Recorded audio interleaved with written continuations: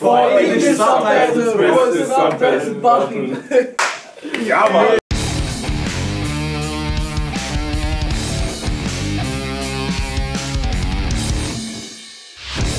Hallo zu einer neuen Reptil-TV-Folge. Mein Intro-Tierchen, ich glaube, ich hatte es euch schon mal gezeigt vor vielen Jahren oder ich weiß nicht, muss schon eine Weile her sein. Äh, eine Oman-Dornschwanz-Agame, ne? Uromastix thomasi heißt die. Ähm, also gehört zu den Dornschwänzen, äh, hat aber ein etwas noch skurrileres Aussehen ne? durch diesen platten, runden Schwanz.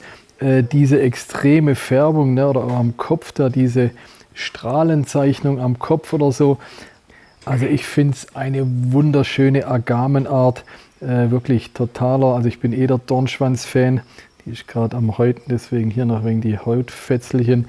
Äh, ich bin eh so ein Dornschwanz-Fan und die Tomasi, also sicher auch, oder gehören sicherlich mit zu den schönsten Dornschwänzen, wo es gibt.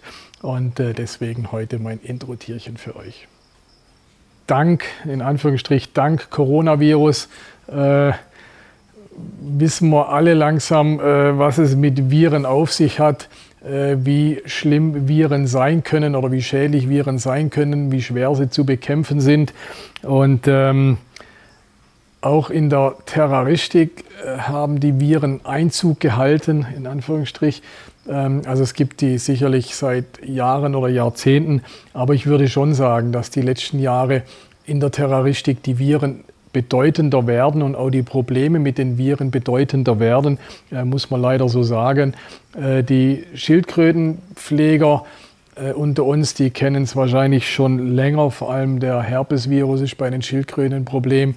Ähm, aber in der Schlangenpflege und Schlangenzucht, ähm, mehr wie bei den Echsen, ich glaube, bei den Echsen ist das Problem meines Wissens noch relativ minimal oder, oder, oder fast gar nicht vorhanden. Aber in der Schlangenzucht äh, gibt es die letzten Jahre schon ernsthaft Probleme mit Viren. Ähm, äh, vor allem mit dem Nidovirus und dem Paramyxovirus. Ich würde sagen, diese zwei Viren äh, sind so die, äh, die problematischsten und auch die, die gängigsten, was man in der Schlangenzucht finden können. Und auf das wollen wir heute ein bisschen eingehen. Der eine oder andere von euch wird jetzt noch denken, ja, aber was ist mit IBD? Das äh, ist ja auch noch ähm, ganz prägnant. Ähm, vielleicht liegt es daran, dass ich äh, viel mehr mit Pydons zu tun habe wie mit Boas. Aber ich würde äh, vom, zumindest vom Bauchgefühl her sagen, dass das IBD die letzten Jahre oder gar sogar die letzten zehn Jahre schon unheimlich ähm, wie soll ich sagen, nachgelassen hat oder eben nicht mehr so problematisch ist, wie es mal war. Ne? Vor, äh, als das Ganze mit Viren anfing, vor 20, 25 Jahren, da war IBD ein Riesending oder auch echt problematisch, sind viele Boas dran gestorben äh, an der IBD oder an dem IBD-Virus. Äh, Symptome des, des Stargazing, ne, den Kopf nach oben und das Kopfdrehen und so weiter, äh, was durch das IBD vorgerufen wurde, ähm, hat man dann oft gehabt. Wie gesagt, ich habe schon äh, eigentlich jahrelang kein Tier mehr mit IBD ist mir begegnet, ne, sage ich jetzt mal begegnet im weitläufigen Sinne, also sei es äh, bei uns oder bei irgendwelchen äh, neuen Tieren oder beschlagnahmten Tiere, die wir bekommen haben oder auch im Bekanntenkreis. Also von dem her habe ich den Eindruck, ich deswegen auf dem Rückzug. Ähm, nicht so der Nidovirus und Paramyxovirus. Ähm, äh, interessanterweise, der Nidovirus gehört zu den Coronaviren. Ne? Also das Corona, wo wir jetzt auch hatten, äh, gibt es auch in der Terroristik als Nidovirus. Ähm, und ähm, by the way, äh, wird der, dieser Nidovirus wird jetzt auch Serpentovirus genannt in der ähm, Wissenschaft. Und der Paramyxovirus äh, auch äh, wissenschaftlich vierte Lenz, ne, also Lanzenotter. Äh, bei der hat man den Virus zuerst äh, festgestellt oder nachgewiesen. Ähm, auch der ist in der Terroristik ähm, ein Problem oder anzutreffen. Ich hatte es gerade schon gesagt, ähm, einschleppen kann man den Virus sich durch irgendwelche fremden Tiere, am besten Tiere, die durch zig Hände gegangen sind.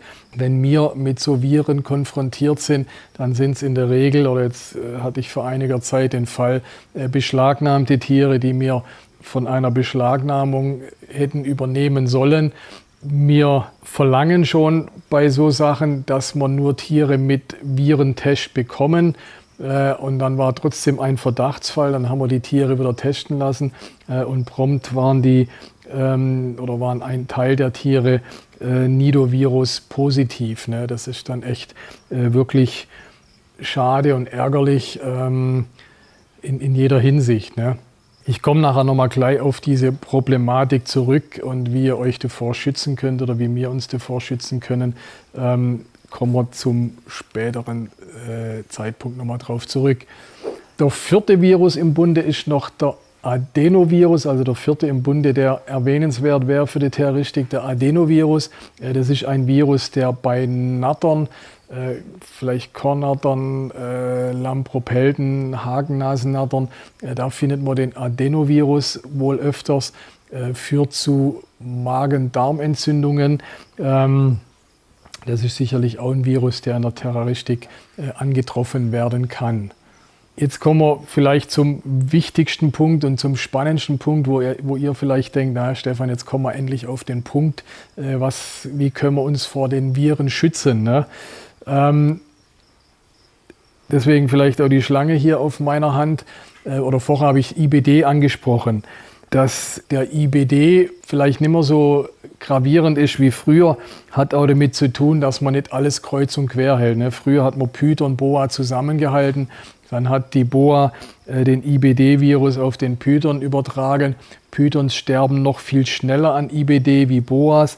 Äh, da hat es die Pythons dann gleich umgehauen äh, und dadurch ähm, äh, kam das vielleicht noch viel mehr zum Ausdruck, die ganze Sache. Ne? Ähm, ich glaube, dadurch hat man das, äh, den IBD-Virus, äh, zumindest der Umgang damit wurde besser, äh, ging zurück, äh, dass man gesagt hat, okay, ich, ich halte mehr die Tiere getrennt. Ne? Ich tue nicht alles kreuz und quer vermischen in der Terroristik. Ne? Also nicht hier zwei Schlangen davon, zwei Schlangen davon und immer so diese Sammelhaltung. Äh, mittlerweile, gerade auch in der Zucht, hält man ja äh, viele Tiere einzeln, was für ein Reptil oder was für eine Schlange äh, absolut gut ist. Und ich würde behaupten, oder ich behaupte, es ist definitiv so, dass auch die Schlangen in Natur Einzelgänger sind. Und ähm, dadurch habe ich natürlich auch weniger Risiken, irgendwelche Viren zu verbreiten. Dann diese Viren an sich, der Nidovirus, ähm, wie gesagt, äh, bei den Pythons relativ viel verbreitet. Ich glaube, die Hauptansteckung bei den Nidoviren sind die Milben, ja, dass der Virus sich über die Milben überträgt. Also eine, ähm, er ist nicht so hochgradig ansteckend wie manch andere Viren, aber wenn ihr ein viruspositives Tier im Bestand habt und habt Milben im Bestand, ja, und früher hat man als mal so gesagt, ach Milben sind ja halb so schlimm oder naja, das gibt es halt mal und so weiter. Die Milben übertragen den Virus. Ne? Die saugen bei der einen Schlange, gehen zur nächsten Schlange, saugen nach der nächsten Schlange, dann hat die diesen Virus. Ne? Ähm, also das, die, die Milben sind definitiv ein Übertragungsfaktor, gilt natürlich für alle Viren, aber speziell bei dem ähm, Nidovirus ist es vielleicht die Art, wie man es am leichtesten übertragen kann. Äh, was auch für alle Viren gilt, ist natürlich eine Schmierenübertragung. Schmierenübertragung heißt, äh, wenn ich mit dem Tier hantiere, mir nicht richtig meine Hände wasche, gehe ans nächste Tier, hantiere am nächsten Tier und habe halt irgendwelche Sekret, irgendwelchen Speichel oder äh, Kot, Urin an meinen Fingern. damit kann ich sicherlich auch alle Viren, die ich jetzt gerade genannt habe, übertragen. Das war aus meiner Sicht die Übertragung vom Nidovirus, also sprich ähm, Milben oder Schmieren, ne, mangelnde Hygiene. Damit kann ich ein Nidovirus übertragen. Wenn ich diese zwei Faktoren beseitige, wenn ich keine Milben habe und wenn ich auf eine Hygiene achte, dann ist die Übertragung vom Nidovirus zum Glück ähm, sehr schwer möglich bis unmöglich. Ja. Schlimmer wird es beim Paramyxovirus. Der Paramyxovirus lässt sich oder überträgt sich wohl auch durch die Luft. Ne? Das heißt, wenn ich ein Tier habe und äh, mir sagt, naja, komm, ich habe ein neues Tier, ich mache Quarantäne und habe das in dem gleichen Raum, dann kann der Paramyxovirus sogar durch die Luft auf andere Tiere übertragen werden. Ja? Also das heißt, man muss sich bei Quarantäne überlegen, kann ich das Tier überhaupt ins gleichen Raum machen oder brauche ich einen separaten Quarantäneraum für mein Tier, was wahrscheinlich für viele Terrarianer schwierig sein wird. Ne? Beim Adenovirus habe ich kaum oder fast keine Erfahrung, auch nicht im Bekanntenkreis oder sowas. Ähm, ich glaube, oder was, was ich so gehört habe, ist er vielleicht auch nicht ganz so leicht übertragbar wie der Paramyxovirus, vielleicht eher wie der Nidovirus.